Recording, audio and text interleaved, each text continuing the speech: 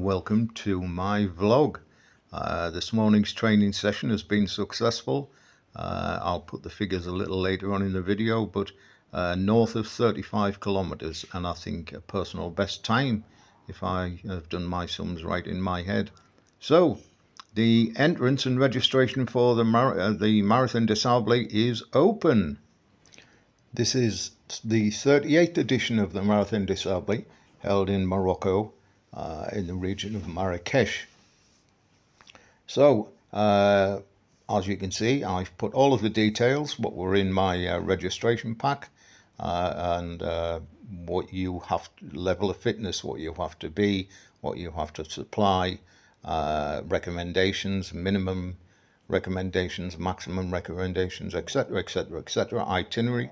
the first question, of course, is going to be the cost. So the cost in Europe, the cost to me was £3,990 to enter the Marathon des Sables.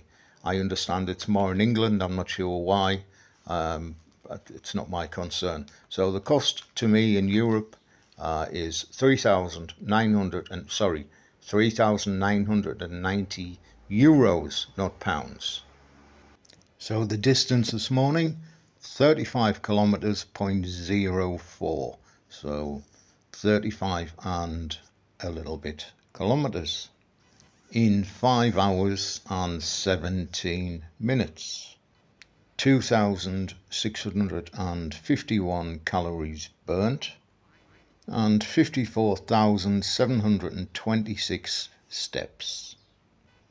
So I hope you found this video useful. These are all the details for the 2024 Marathon des Sables in Morocco near Marrakesh on the 12th of April next year.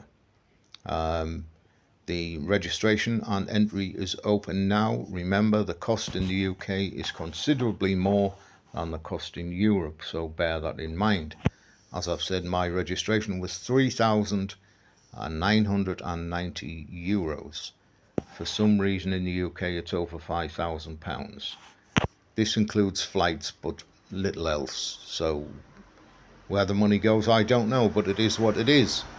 Um, so if you want to enter, now is the time to contact um, the organisers on the Marathon sorry, www.marathondessables.com and they will send you out an entry.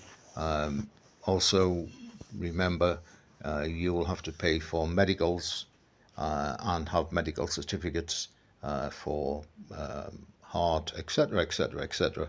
You can discuss this with your doctor, but uh, on the entry it tells you the minimum fitness required to enter the Marathon des Sables.